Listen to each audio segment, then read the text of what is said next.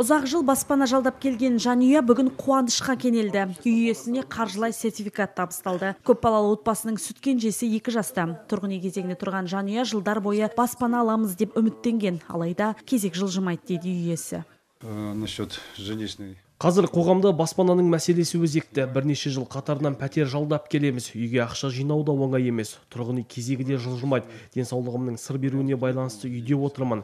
Мінекей аталған қайырымдылық қоры көпбалалы отбасыларға көмек қолын созады. Жақсылық жасағандарыңызға рахмет. Тұрар деген кісіні кісімен ну как бы познакомилась. Очень хорошо помог это как раз. Тұрар деген азамат бізге көп көмектесті. Ол кісіге де алғысымды білдіремін. Қамқор жандар қайырымдылық қорының волонтері лейла ханымға да рахметімді айтамын. Азық түлік басқа да қажетті заттармен қамтамасыз етіп отырды.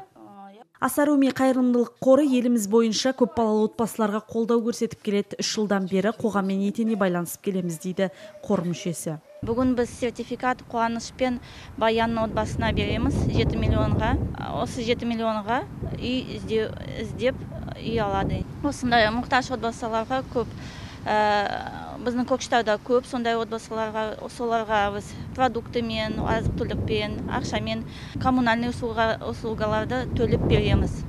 Басқа даже психологический психологтың арқылы не көмек береміз. Енді баспана алуға берілген қаржыға 40 күн ішінде үй сатып алынуы тиіс. Көпбалалы отбасының қолына пәтер кілті берілген тұста сіз бен біз қоныс тойына құтты болсын айтамыз. Жансұлу жеңқұл медет қайыркенов дидар өмірзақ көкше ақпарат.